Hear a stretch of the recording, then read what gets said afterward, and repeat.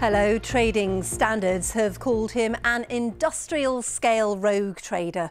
For the last few years, Daniel Dyer from Wiltshire has charged unsuspecting customers, including elderly and disabled people, a fortune for shoddy and dangerous building work. He told a court he was sorry, but this evening he was jailed for two years. The judge said some families were struggling to put their lives back together after the devastation caused by Dyer. Martin Jones from our investigation Unit takes up the story. Daniel Dyer traded as Ashwood Home Improvements, but he wrecked Trudy's house.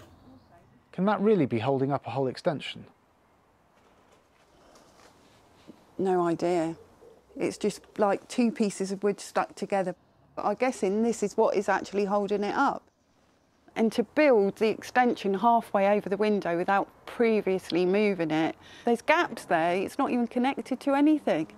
These were supposed to be actually real slate, um, but if you, they're just like plastic. Trudy paid just over 30,000 for the extension, but the damage it's done means she's had to sell the house for less than she bought it. It's just been the most awful experience I could ever imagine. I was in such a limbo for three years, you know, sleeping on my dad's sofa while he's dying of cancer, been on sleeping tablets, I've had anxiety.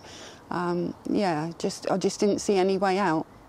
Before Daniel Dyer stopped work on it, the house flooded and she lost all her possessions too. All told, she says she's down about £200,000. If you could send a message to Daniel Dyer now, what would you want to say to him? Please don't wreck anyone else's life like this. Please don't do this to anyone else. The problem is, he already has. Trading Standards received around 20 complaints about Daniel Dyer. He may have looked a picture of success and confidence on his wedding day, but his customers saw a different side.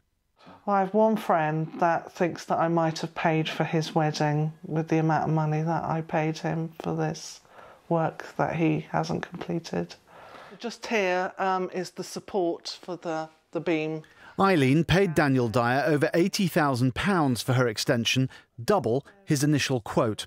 Eight months later, it was still unfinished, and it could have been worse. Your house could have, parts of it could have fallen down. Uh, definitely the extension and uh, where the steel beam was being supported, that support was not secure, so it was very serious. So it wasn't just a rip-off, it could have been dangerous as well? Yes. She's now paid over £26,000 to have the bad work made good. Yes, into, into the house.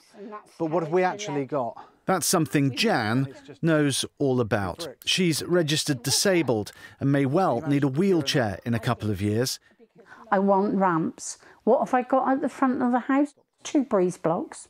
She paid £50,000 for a new extension, which was never finished. This is what how they've left it. None of the plumbing had been finished. The electrics weren't done. The windows weren't in properly. The doors weren't on, massive drafts coming through. The tiles, half of them were broken. She's had to pay another 10,000 to get things put right so far, money that she can hardly afford. It's caused me a lot of stress.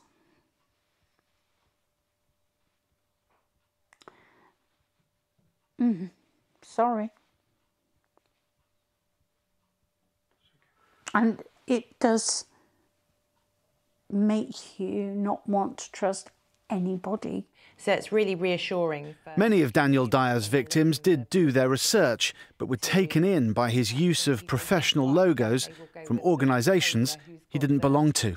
They should ask for references.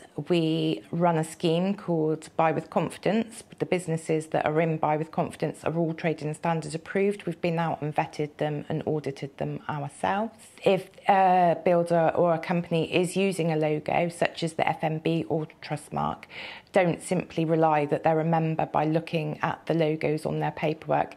Go on to the websites of these organisations and check for yourself that they are members. Following that advice may help people avoid the likes of Daniel Dyer. Martin Jones, BBC Points West.